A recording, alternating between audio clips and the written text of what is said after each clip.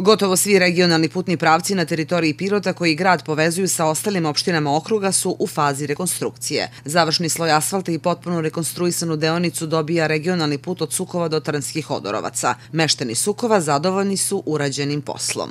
Puno znači e, ne samo selu, nego i oni van sela koji prolaze tu prolaznicima. Imamo mi tu i malo turistička mesta, imamo ovaj manastire, ovaj put je uvek opterećen.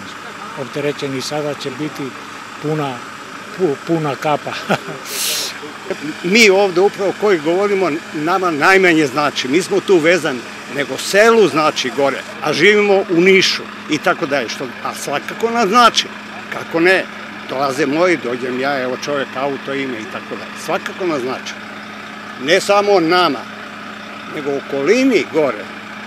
Gradonačelnik Pirota Vladan Vasić je obišao radove sa kolegom iz Dimitrovgrada, predsjednikom opštine Vladicom Dimitrovim. Zadovoljan je obavljenim poslom jer je reč o putnom pravcu u ingerenciji države koji povezuje grad Pirot i opštinu Dimitrovgrad. Ovde se rekonstruiše 10 km. Da kažem da su radovi u toku i na drugim putnim pravcima. Počeli su pre neki dan, uskoro ćemo to bići radovi od Sadikovog bunara do sela Blato, negde 3 km se tamo rekonstruiše. Počeli su radovi i na e, putnom pravcu koji spaja, odnosno putnom pravcu između e, sela Rsovci, manastira Sveti Ilija u dužini od 2,2 km. Radovi već nekoliko meseca traju od Sopotske petlje do ulaza u Pirotu, će se rekonstruisati negde oko 4 km i ostaće negde oko 6 km, km rekonstrukcije puta između Malog mosta i kamenoloma Kitka i tu će još jedan putni pravac koji spaja Pirot sa Dimitrovom, dakle selo Slavinja i Zatovci do skoro Smilovaca, tu ja mislim desetak i više kilometara će biti, možda tu već sa deonicom grešim. Negde oko 20 miliona eura će se uložiti u ove regionalne putne pravce, to je ogroman dakle, doprinos države Srbije i koridora 10 za sređivanje regionalnih putnih pravaca na teritoriji ovih gradova i svakako da moramo da budemo zadovoljni.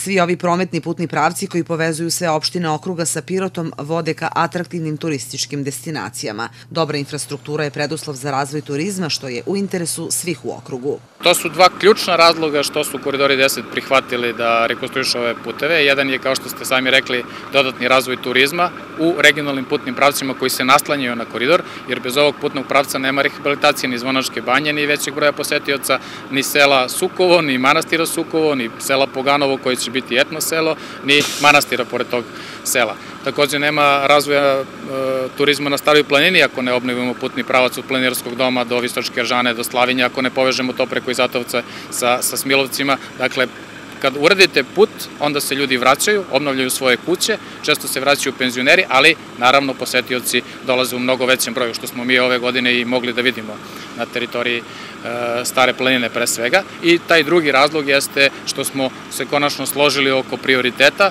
i nastupili jedinstveno kao okrug, dakle i gradonačelnik Niša i ja i predstavnici opštine Bela Palanka, Babušnica i Dimitrod i izašli pred koridorima sa jedinstvenom nekom, nekim zahtevima i oni su to uvažili, to je velika stvar. Ovo jeste regionalni putni pravac, ali pre svega će ga koristiti ljudi iz Pirota, sela Sukovo i ljudi iz Dimitrovoda i posetioci. Radove na rekonstrukciji šest regionalnih putnih pravaca finansira Evropska banka za obnovu i razvoj. Investitor je javno preduzeće Koridori Srbije, a izvođač je firma Trace. Ukupna vrednost radova je 20 miliona evra.